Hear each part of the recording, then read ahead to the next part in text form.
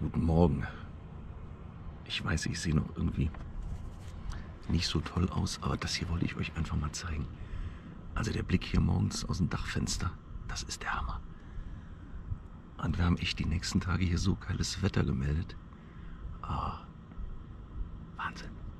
Ja, guckt mal da hoch.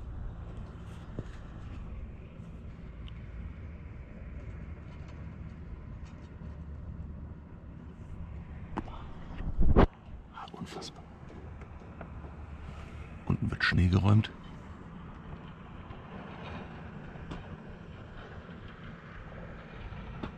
Ja, der Kollege Kai schläft noch und ich gehe jetzt auch wieder nach unten. Also bis später.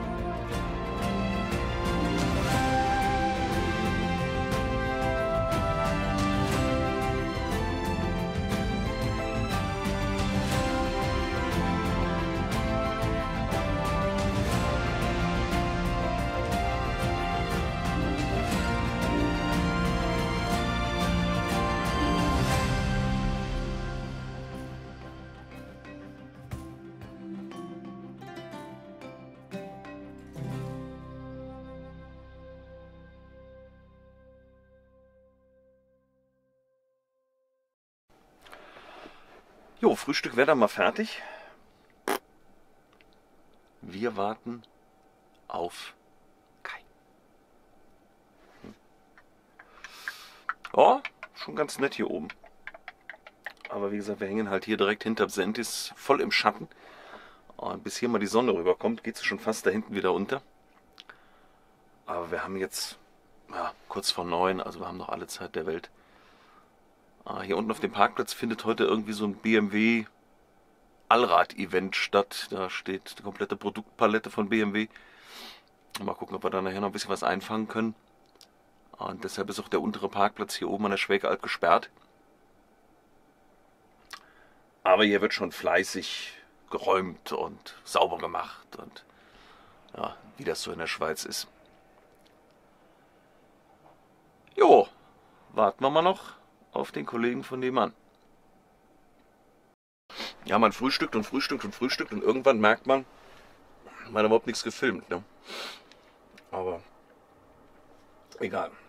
Ja, Kollege büffelt mal wieder seinen komischen Brei. Und hups, da ist dunkel. Na, wird das nochmal heller hier? Ja, ohne mich wird's dunkel, ne? Ja, nee, das, du? Halten. nee, die Videoleuchte habe ich ja schon wieder abmontiert. In der Hoffnung, dass wir gleich draußen genug Licht haben. Jo, wir machen hier mal weiter. Und dann gucken wir uns gleich mal dieses BMW-Spektakel da hinten an. Ja, hatte ich ja eben schon von kurz erzählt. Und dann müssen wir ja heute noch Richtung Speicher, also St. Gallen. Da gibt es dann noch ein Appenzeller Fondue heute Mittag. Und dann wollen wir mal gucken, ob wir die Schneeketten irgendwo noch brauchen können. Ich habe ein bisschen Sorge, ja. Er hat Sorge. Also nicht wegen der Schneeketten, sondern ob wir überhaupt was finden. Ne? Mhm, ob, wir das, ob wir da überhaupt langkommen, langfahren können, wo ich hin will. Ah, wir gucken mal. Irgendwas werden wir finden. Zur Not fahren wir ins Elsass, da wissen wir, wo Glatteis ist. Ja, Abwasch ist erledigt. Jetzt gucken wir mal hier, was die BMW-Jungs hier auf ihrem Spielplatz so anrichten. Das sieht lustig aus. Geil. Ja, Moment. Mal hier rum. Achtung.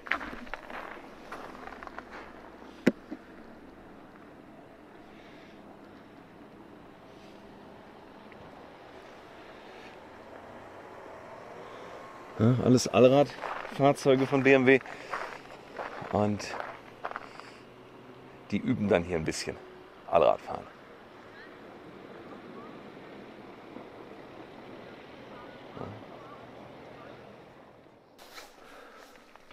Ja, schon ganz nett. Jo. Und dann müssen wir auch gleich schon weiter. Weil wir haben ja noch eine Einladung für heute. Daher mal gucken. Da sucht jemand seine Drohne irgendwo in der Luft. Ja, man hört sie mal nicht, also scheint weit weg zu sein. Kann man mal so machen, ne? Oh, hier ist schon ganz gut Betrieb heute Morgen. Also jede Menge Leute mit Schneeschuhen unterwegs und Wanderer. Naja. Sollen sie mal machen. Wir fahren lieber Auto.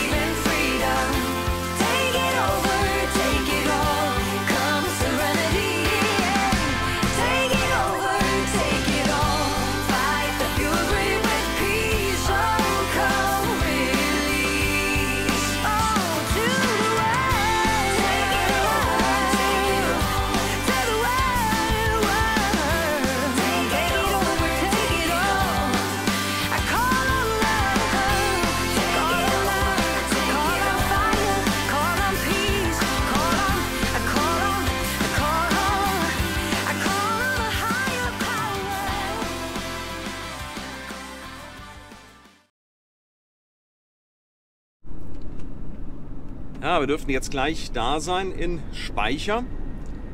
Oh, oh, war jetzt eine lustige Anfahrt, aber hier wird es halt immer grüner. Und äh, bei dem Wetterbericht, den wir jetzt für die nächsten Tage haben, haben wir uns dann doch entschieden, nachher wieder tiefer in die Alpen reinzufahren. Das ist einfach so geil. Und äh, ja, jetzt gucken wir erstmal, wo wir die beiden hier antreffen mit ihrem Lastrada. Und ja, dann geht es nach Mittag wieder runter Richtung Süden in die Alpen rein. Aber ganz wenig Schnee, also sagt Kai eben auch über Funk, äh, hier müssten normal ein, anderthalb Meter Schnee liegen, ne? aber ist nicht. Bin ich auch ganz froh drum.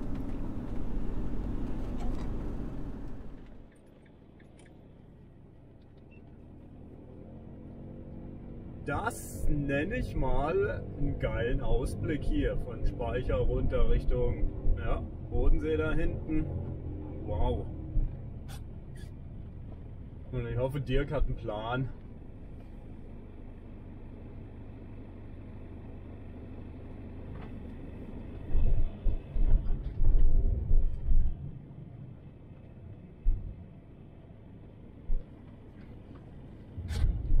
Ja, guck mal, ein Pössl. Ja, wir sitzen dann mal wieder beim Essen, ne?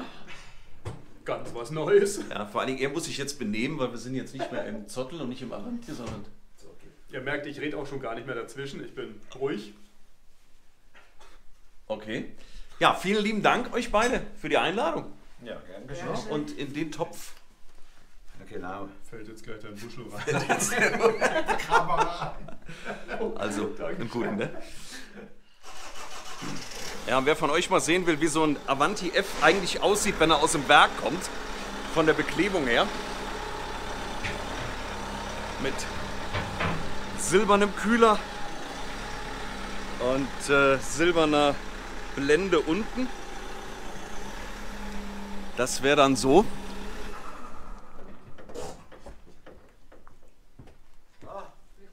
Aber da haben wir uns ja anders entschieden. Na, der hat noch nicht mal mehr ein Nummernschild, der arme Schweizer.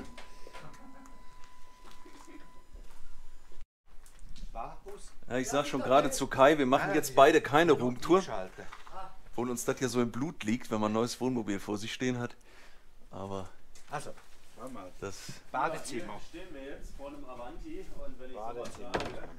dann bin ich kurz davor, eine Roomtour zu machen, aber heute nicht, denn hier Nee, nee. waren wir heute. Immer schön zu sehen, wenn dann Avanti-Fahrer die Tipps einbauen, die andere Avanti-Fahrer in irgendwelchen Videos schon mal gebracht haben. Ne? Also hier unten Schaumstoffleiste und also Dinge. Ach, da eine Lancia-Logo da noch drauf. Das Club-Logo. Okay. Ah, hier löst sich auch schon die Folie. Ja, wunderbar. Ja, liebe Damen und Herren, in Echtzell altes Problem. Kriegt selbst ein Globcar besser hin. Das jetzt heißen? Ich muss, ja, ich muss es, ja, da liegen ja nur mal ein paar tausend Euro dazwischen, ne? Aber hier, ne, wenn er hier mal guckt, die schneiden das aus. Da. Ja, schön ausgeschnitten. Aber Lastrada kriegt's leider nicht auf die Reihe.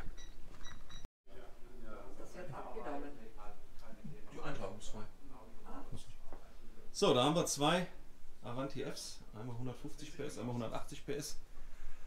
Und jo, ich glaube, wir sagen jetzt mal Danke und Tschüss. Und fahren wir noch ein bisschen weiter in die Schweiz rein. Jetzt kommt die zweite Kamera. Ja, einer steht hier schon wieder mit ausgestreckter Hand. Das heißt, halt, das heißt dann meistens.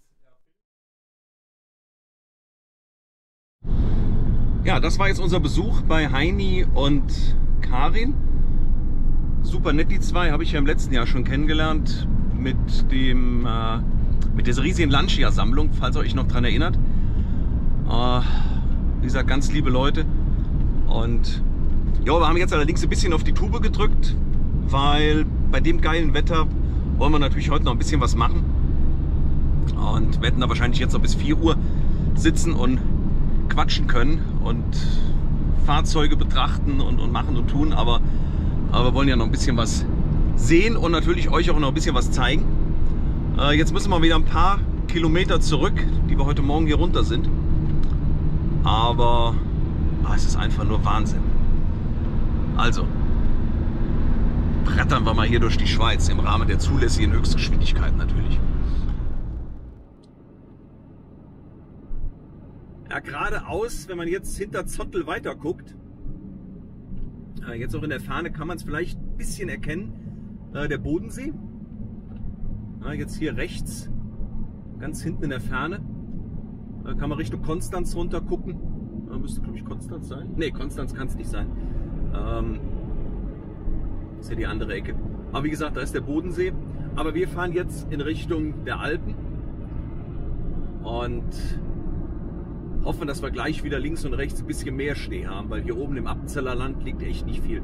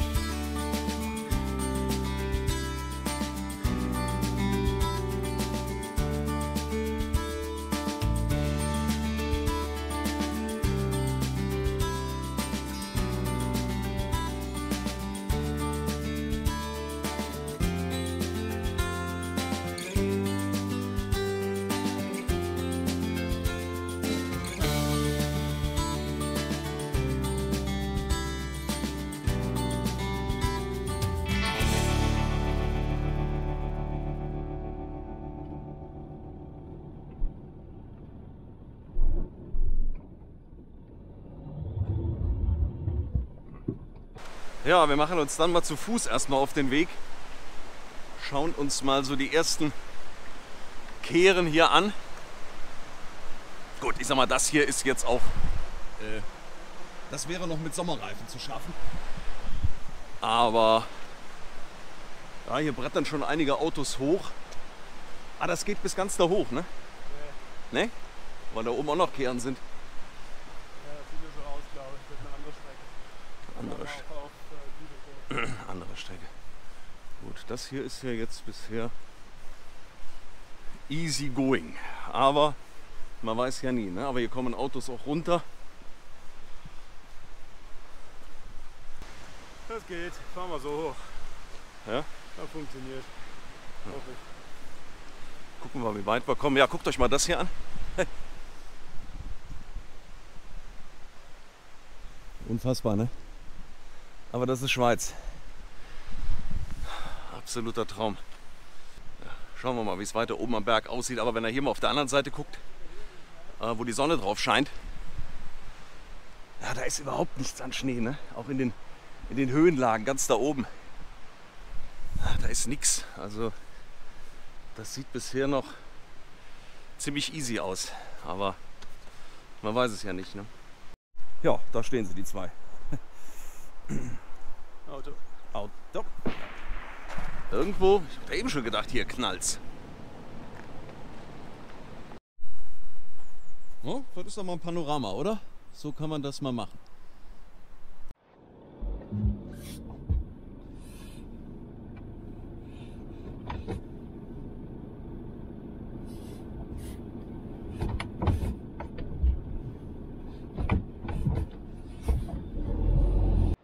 So, dann wollen wir mal gucken, wie weit das hier gut geht. Ohne Schneeketten.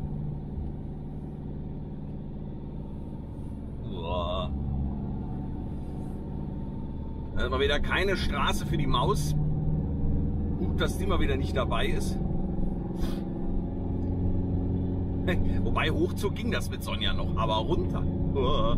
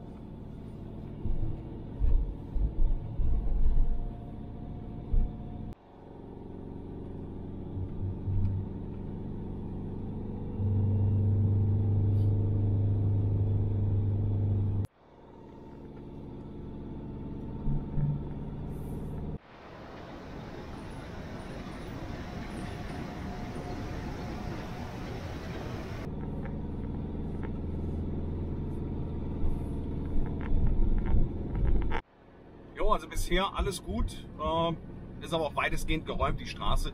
Jetzt hier so Flecken, die kommen dann zwischendurch mal. Ähm, aber das ist mit den AT-Reifen tatsächlich jetzt bisher mal noch kein Problem. Äh, wobei das natürlich auch schon spiegelglatt teilweise ist. Ähm, ja, und ich glaube, da vorne wird es dann jetzt kritischer. Ja, also bis jetzt mal nichts Negatives über die AT-Reifen. Wir sind jetzt gerade hier dieses, ja, diese steile Kehre, habt ihr ja im Video gerade eben gesehen. Ähm, ja, hier geht es relativ steil hoch. Darüber. Noch nicht einmal gerutscht, also alles gut. Ähm, ja, äh, natürlich sind es keine Winterreifen, das ist klar. Aber man muss natürlich auch eins dazu sagen, sie haben nun mal ein Schneeflocke-Symbol und das kommt nicht von ungefähr da drauf. So, jetzt will mir der Reiseleiter was sagen. Ja. Ein Bus mit Ist Gästen. noch gerade Außenparkplatz frei. Ja. Oder hier erstmal hinstellen. Ja, oder soll ich bevor da rückwärts rein? Oder das wird ein bisschen eng, ne? Ja, ich guck mal. So, jetzt stehen wir hier oben auf dem kleinen Parkplatz an der, wie heißt sie? Mettmann-Alp. Ja, der Kollege ist immer noch am Filmen da unten. Ja, ja. Kann's auch nicht. Kann's auch nicht lassen, das Filmen. Aber ich habe einen entscheidenden Vorteil. Ich stehe zumindest mit dem Rest meines Körpers im Warmen. Äh, wir warten jetzt hier noch auf einen kleinen Minibus. Tag. Äh, es geht schon Scheißdreck an. Und äh, ja, ansonsten ganz nett hier oben. Natürlich kaum Sonne, aber ja, da oben ist wohl noch ein Stausee, sagte Kai eben. Ein kleines Skigebiet. Äh, ja, bin mal gespannt, wie das jetzt nachts hier anzieht, der ganze Schnee, der jetzt noch ziemlich feucht ist, aber ja, da kommt doch ein Minibus. Aber ganz ehrlich, größer darf der Bus hier auch nicht sein. Also ja, ich habe auch noch eine, sagen wir mal, hoheitliche Aufgabe. Ich muss also noch was übergeben im Namen von Sonja, äh, der Frau hinter dem Avanti Nähstudio, die natürlich auch stricken kann. Wir werden natürlich die, achso, Moment, wir müssen die andere Kamera auch noch anmachen.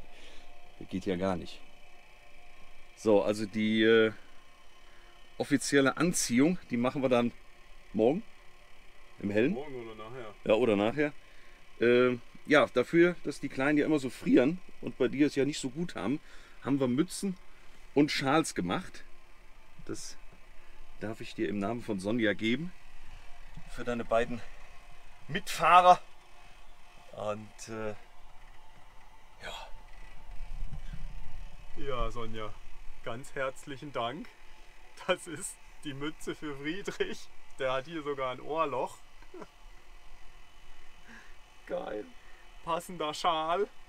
Lege ich mal mir um. Passt mir auch. Mhm. Das Co-Pilotenmütze, jeweils mit Bommel, ganz süß. Auch hier mit Ohrausschnitt. Wobei, ich weiß nicht, ob das dem Co-Piloten reicht. ja, bei dem Co-Piloten hatten wir noch den Zettel. Also das ist Aha, eigentlich nach Maß. Co-Piloten ist nach Maß. Da echt? war, glaube ich, noch das Aber Maß. da bin ich gespannt, Ja. weil der Co-Pilot hat echt einen großen Kopf. Na, wir gucken das morgen. Ja. Und natürlich hat auch der Co-Pilot dann noch einen Schal. Ne? Jetzt wird er endlich seinen äh, Werbeschal los. Ach nee, hat er gar nicht mehr um. Er hat ja schon den anderen Schal. Kann er mal ja, er kann ne? ja auch dann wechseln. denn Du wechselst Genau. ja auch hin und wieder mal deine Oberteile. Selten. Ja, wie gesagt, die Anprobe werden wir dann später noch nachreichen. Kann die auch kurz holen. Jetzt äh, machen wir erstmal Kaffee. Ja, können wir gleich noch machen. War mehr Licht. Und war haben wir noch Zeit, war haben wir sonst nichts zu tun. Ich wollte, glaube ich, heute gar kein Video schneiden. Jo, ich habe eben mal versucht, die Drohne zu starten, aber hier in diesem Talkessel kein GPS. Und äh, in so einem Terrain im, im ATTI-Modus zu starten, da habe ich definitiv keinen Bock drauf. Also das ist mir zu gewagt. Tjo. So, 16.30 natürlich mal wieder völlig verpennt, dass ich gerade ein Video hochgeladen habe. Gerade mal noch schnell Instagram und hä? der erste Like auf Instagram kommt von Sonja Müsch. Aber ich dachte, du wärst am Renovieren zu Hause. Also, unfassbar. Aber Liebe Grüße aus der Schweiz. Wir sehen uns. Jo, jetzt werden wir mal hier. Der krümelt da hinten wie ein. Nur auf das Weiße. Ja, ich hoffe. Wobei. Nee, ich, ich darf ja nicht sagen. Die, Polster. Nee. Ähm, wir wollen nicht über das Thema Polster reden.